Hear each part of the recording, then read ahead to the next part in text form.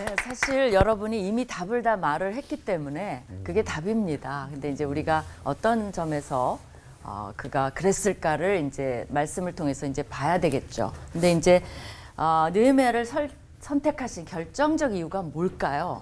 라는 질문인데 그 면을 어, 좀 다른 각도에서 어, 한번 살펴보고자 합니다. 그 이전에 어, 우리 시청자분들을 위해서 느헤미야의 background, 그죠? 배경, 역사적 배경이 뭔가를 잠시 어, 살펴볼게요. 느헤미야는 페르시아 시대에 이제 아닥사스다 왕이 있었는데 아닥사스다 왕 제 20주년 그때가 445년입니다.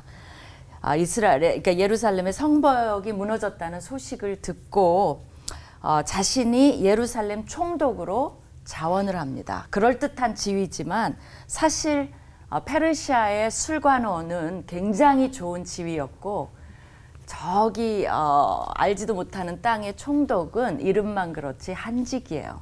거기를 자원하게 됩니다. 느헤미야라는 뜻은 여호와께서 위로하신다는 뜻이에요. 아, 그래서 아까 말씀하신 대로 성벽을 보수함으로써 자기 이름 따라 아, 유다 백성을 위로한 아, 그런 역할을 합니다. 52일 동안 아, 이제 치적을 이뤄냈죠. 그때 외적 내적 방해 요소와 박해가 정말 심했습니다. 그거를 뚫고 어, 이루어낸 어, 대단한 사람들입니다. 대단한 사람입니다. 아까 말한 대로 평신도 지도자예요. 아, 근데 이제 제가 좀 다른 면모를 본다고 했잖아요. 어, 이 대단한 사람인데 이제 그 예루살렘 그러니까 이제 누가 와서 예루살렘 성벽이 이제 회파됐다, 성문이 불탔다 어, 이런 말을 듣고 어, 수일 동안 금식하며 기도합니다. 그러니까 굉장히 애국자죠. 말씀하신 대로 기도하는 사람이죠. 정말 어, 자기 먹고 살기도 바쁜데 어, 나라와 민족을 걱정하는 어, 큰 인물임에는 틀림이 없습니다. 근데 이제 왜 느헤미야가 성벽을 그러니까 어, 내가 그러면 기도해주고 물자도 좀 보내줄게. 그리고 어, 너무 좀 우리가 같이 모여서 기도도 해주고 할게라고 해도 돼요. 그래도 훌륭해요, 그죠? 근데 여러분이 생각해 보세요. 왜 자원을 했을까요? 저는 그 점을 보기를 원해요. 뭐 그 성경에 이래서 그랬다라고 나와 있진 않죠.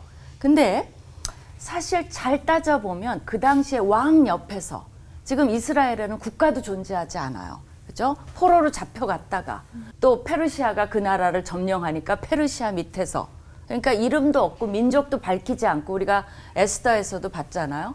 어, 그 이름도 바꾸고 해갖고 술관원까지 올라갔어요. 왕 옆에서 시중을 듭니다. 온갖 뇌물도 다 받을 수 있는 위치예요. 그리고 왕을 설득할 수 있는 위치예요. 근데 이제 느헤미야가 보기에 정말 페르시아의 왕을 움직여서 그 성벽을 보수할 수 있는 재료를 얻어내고 자원을 얻고 어, 재정적인 충원도 받을 수 있는 사람은 누굽니까? 어떻게 보면 본인뿐이 없어요. 그렇죠? 딴 사람이 있을 수 있어요. 또 무명의 어떤 사람이 믿음으로 나와서 할 수 있어요. 하나님 안에서 다 가능하니까. 근데 여기서 중요한 게 뭐냐면 느헤미야는 자신의 그 위치를 하나님의 관점으로 보았다는 거예요. 그 술관원의 위치를 내가 성취한 업적, 내가 즐겨야 업적 이런 걸로 보지 않고 하나님의 백성과 나라를 위해서 수단화 할 준비가 되어 있었다는 겁니다. 저는 그랬기 때문에 느헤미야가 나밖에 없어 그게 아니죠. 현실적으로 봤을 때 내가 할 수 있는 일이 아닐까, 해야 되지 않을까. 근데 이것도 위험이 따라요. 그죠? 페르시아 왕들이 어, 그렇게 만만하지 않아요. 그리고 자기는 그래봤자 또 술관원이에요. 그렇지만 믿음의 행보를 마치 에스더처럼 하기로 한 거죠. 그래서 거기에 저는 느헤미야의 위대함이 있다고 봅니다. 즉 느헤미야는 자신만이 이 일을 해낼 수 있는 위치에 있다는 걸 알았어요. 또 동시에 하나님께서 이 일을 도와주지 않으면 절대 못한다는 것도 알고 있었어요. 그렇기 때문에 느헤미야의 100%의 어, 자신의 직업과 목숨을 건 영성과 헌신, 그 다음에 하나님의 도우시는 손길에 100%가 만나서 성벽 건축에 놀라운 역사가 일어났다는 겁니다. 우리도 때로는 우리가 가진 직업, 지위, 네트워크 이런 것들을 주님 앞에 내어놓고 주님의 뜻을 이루기 위해 수단화할 수 있는 영성과 헌신이 필요하다는 겁니다. 내가 뭐 할 수 있는 것이 있다고 그거는 겸손도 아니고 영성도 아니에요. 누구나 여러분 예외가 없어요. 여러분만 나만이 할 수 있는 일이 항상 있어요. 그리고 크고 작건 간에 그 일이 주어져요. 근데 어, 질문은 뭐냐면 우리가 느헤미야와 같은 결단을 하느냐는 겁니다. 그걸 그렇게 볼 수 있는 성숙함이 있느냐 그리고 그랬을 때 하느냐 이것이 질문이라는 거예요. 많은 경우에 우리가 기회를 놓칠 수 있습니다. 그리고 나만이 그 친구에게 복음을 전할 수 있어요. 근데 못 볼 수 있어요. 또 할 수 있음에도 몸을 사리는 경우도 굉장히 많이 있습니다. 이런 배경에서 느헤미야는 내 하나님이여 내가 본인도 알아요. 그렇기 때문에 내가 이 백성을 위하여 행한 모든 일을 기억하사 내게 은혜를 베푸시옵소서. 이 세상에서 보상을 바라는 게 아니에요. 누구한테 보상을 바라는 거죠? 하나님께 보상을 바라고 자원을 한 것이라는 게 드러나요. 우리 모두가 이 기도를 담대하게 할 수 있어야 돼요. 제가 한 일, 우리 하나님 때문에 한 거 아시죠? 그것이 고백이 있어야 된다는 겁니다. 주위를 둘러보세요. 느헤미야를 부러워할 게 아니에요. 여러분들 느헤미야가 저도 될 수 있어요. 자원하면 됩니다. 예. 기도하시겠습니다. 하나님 감사합니다. 오늘 어, 정말 어, 아까 완벽하다고까지 말한 이 위대한 인물 느헤미야 어, 그 사람이 특별해서가 아니라 어떤 행보를 했는가를 우리가 보면서 정말 우리도 제2의 느헤미야들이 될 수 있도록 역사하여 주시옵소서. 예수님 이름으로 기도합니다. 아멘. 아멘. 방해가 엄청 많았잖아요. 그러면 그 평신도였던 느헤미야가 어떻게 그 방해를 다 막았는지가 일단 너무 궁금하고요.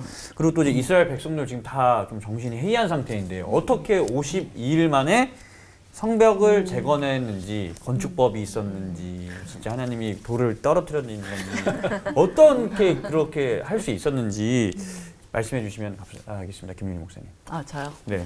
음, 이게 이제 아까 그된 이블 그죠? 선과 악이라 그랬죠. 그렇다면 사탄의 전략이 있겠죠. 그거를 제가 한번 쭉 당한 걸 저, 적어봤는데요. 심리적 아까 뭐 비웃고 여우가 올라가도 업신여기고 비웃고 협박하고 육체적 협박 죽이려고 했어요. 정신적 협박. 그 다음에 낙담시키는 게 들어오는데 가장 가까운 신뢰했던 사람들을 주로 이용합니다. 그들이 뭐라 그러냐면 내적으로 우리가 하다가 성 건축 못 한다 라고 얘기를 해서 굉장히 힘들게 하고 음모가 있었죠. 거짓 소문 퍼뜨렸죠. 유혹을 했죠. 죄를 짓도록 누구까지 동원해서 선지자까지 동원해서 뇌물 받고 느헤미야를 그 성전 안에 들어오게 하도록 평신도인데 죄를 지어서 좀 아무튼 흠을 잡으려고 그 다음에 많은 현실적인 문제들이 있었어요.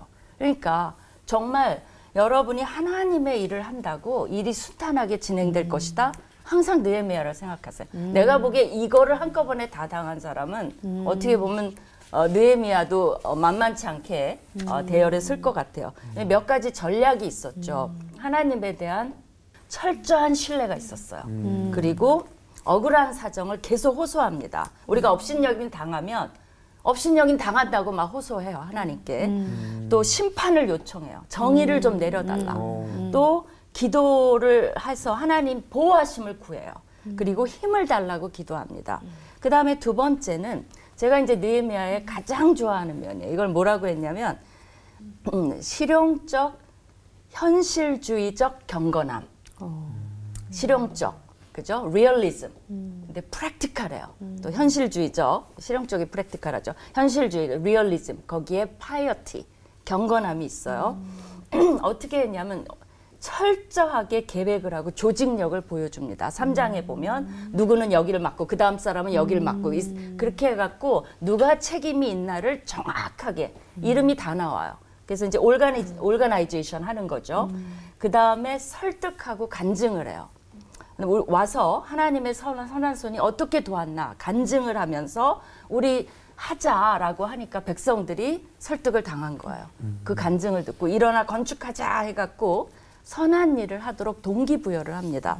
그리고 철저한 방어책과 준비성. 이게 이제 이 부분이 제가 제일 좋아하는 건데요.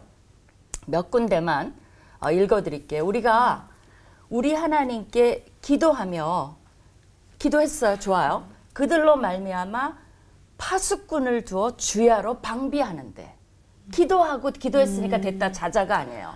파수꾼을 뒀어요. 아니 그냥 믿음으로 두지 말지.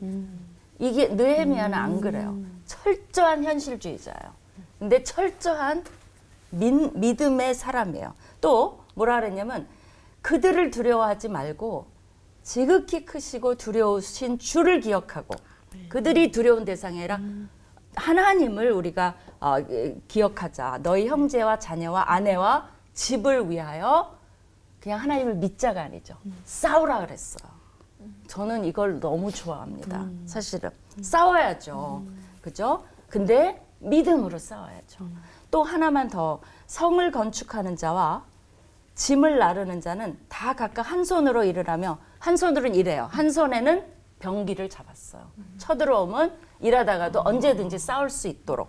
그러니까 100% 하나님을 의존했고 100% 인간의 최선을 다했다는 것이 여기 드러납니다. 그리고도 뭐 아까 여러분이 말씀하신 뭐 정의를 실천하고 개인적인 본이 되고 정말 셀 수 없는 이런 정책들과 방편을 가지고 어, 했기 때문에 어, 일이 완성이 된 거죠. 네.